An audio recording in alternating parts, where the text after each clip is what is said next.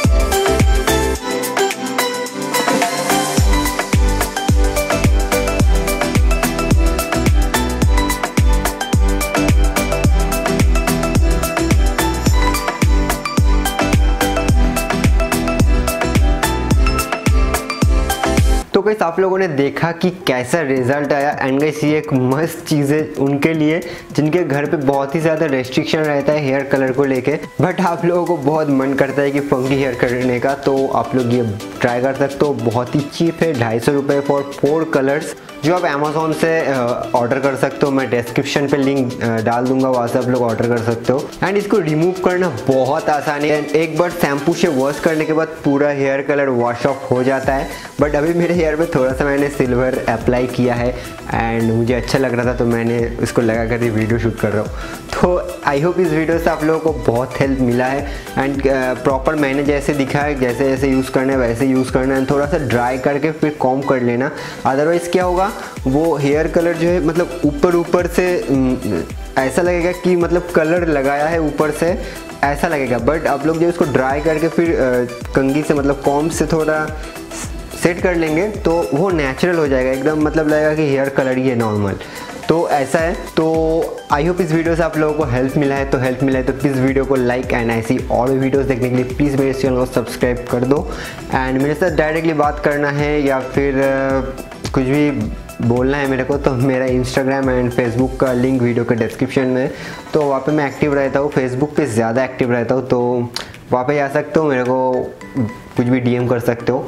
तो मिलते हैं नेक्स्ट वीडियो में, तब तक के लिए bye bye and see you in the next video